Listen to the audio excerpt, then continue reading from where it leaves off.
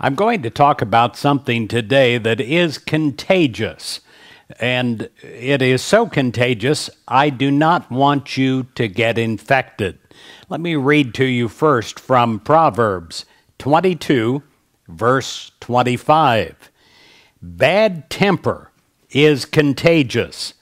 Don't get infected.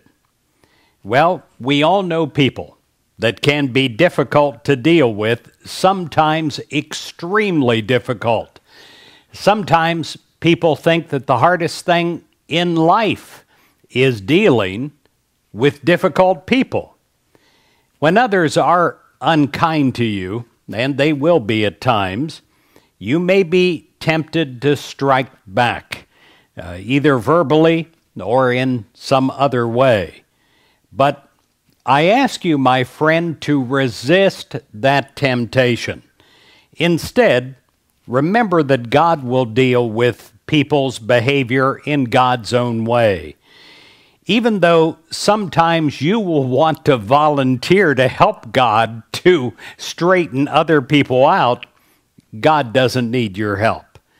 When other people behave in a cruel way, foolishly, or impulsively, uh, as they will from time to time. There's no way to avoid it. It is easy to let their attitudes absolutely infect us. And when it infects us, we get sick. We not only get sick in our day, but sometimes it can take a, a week or a month out of our lives in feeling bad. Keep your temper in check. Don't respond in kind.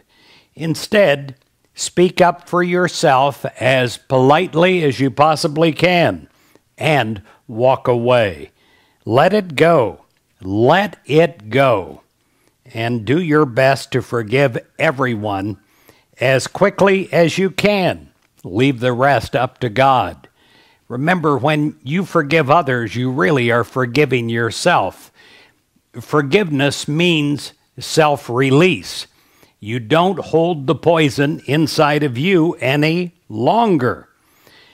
Phillips Brooks said, Bear with the faults of others as you would have them bear with yours.